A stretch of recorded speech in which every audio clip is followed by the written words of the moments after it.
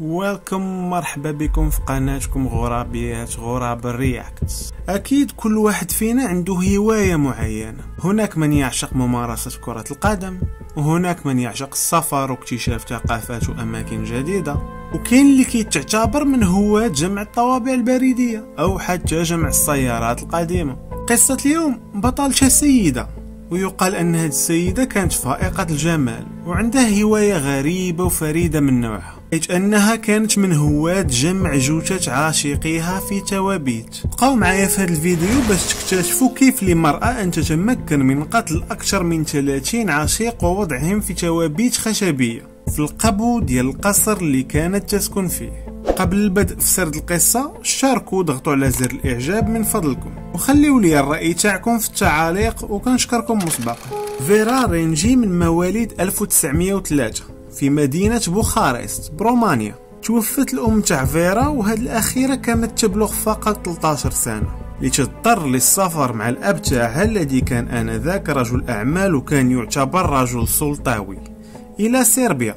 بالضبط مدينة زراينين ودرست في مدرسة داخلية يعني الدراسة والسكن كل شيء في المدرسة. ولما بلغت 15 سنة أصبحت فيرا تعاني بما يعرف بنيمفومينيا يعني آه، الرغبة الشديدة والمتكررة في ممارسة الهواية الزوجية. لدرجة أنها كانت كتقفز من النافذة تاع السكن المدرسي بالليل باش تمشي تمارس القفز على الحواجز مع أولاد في مدارس داخلية أخرى. يعني لو كان الجنس رياضة أولمبية لحطمت فيرا الرقم القياسي في عدد الميداليات الذهبية.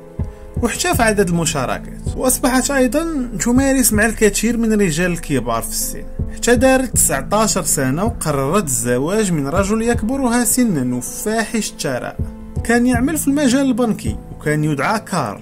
ستنجب مع كارل واحد الولد اللي سماتو لورينزو. مع مرور الوقت وكونها تعمل فقط داخل البيت أي ربة بيت بدات فيرا كتشعر بالملل وبدات كتعاني من ما يعرف بالبارانويا أي جنون الارتياب. وهي عملية غريزية وفكرية كيتدخل فيها القلق والخوف وكيولدوا للشخص اللي تيعاني من البارانويا شكوك وأوهام وإحساس بأنه ضحية لنظرية مؤامرة. وفي الحالة ديال فيرا فكانت كتوهم أن كارل يخونها وأنه لا يحبها كالسابق الشيء اللي ما كانش صحيح. واحد الليلة دخل كارل البيت منهك وتعبان من العمل. وقدمت ليه فيرا كالعادة العشاء تاعو وكيف ما كتعرفوا من التقاليد ديال الأوروبيين الأرستقراطيين شرب بعض النبيذ أثناء تناول وجبة العشاء. ففور ما شرب كارل النبيذ بدا كيتألم بشدة وفارق الحياة. الزوجة الصالحة فيرا قامت بوضع مادة الأرسينيك في الكأس ديالو وهو سم قاتل. قامت فيرا بجر جثة كارل إلى القبو في القصر اللي تعيشوا فيه وهو قبو خاص بالنبيذ.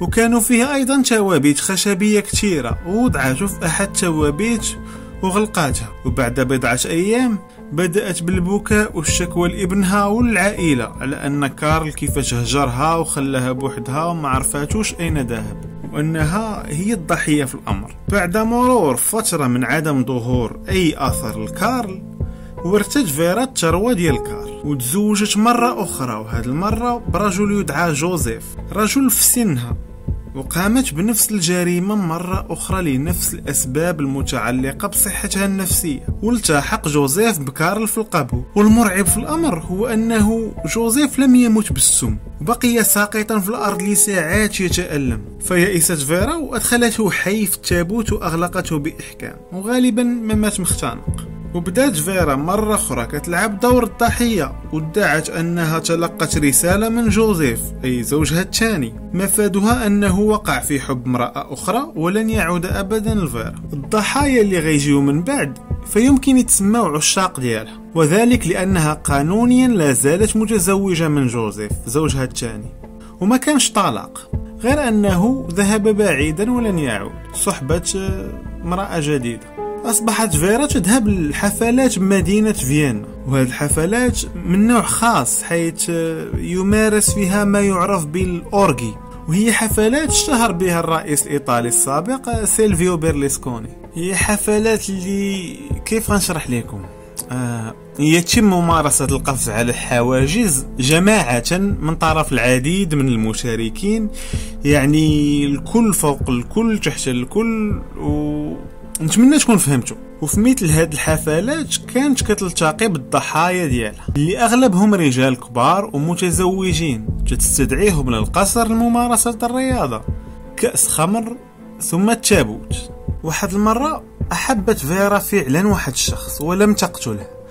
كان صربي ويعمل في مجال الأبناك مثل زوجها الأول رحمة الله عليه. بعد ليالي عديدة من التنقلات اللي قام بها هذا الشخص للقصر ديال فيرا للمشاركة في التظاهرات الرياضية بدأت زوجته تشك في وفائه فقامت بتتبعه خلسة لتكتشف أن زوجها عداء محترف وتبلغ الشرطة بذلك حيث قامت بمداهمة القصر.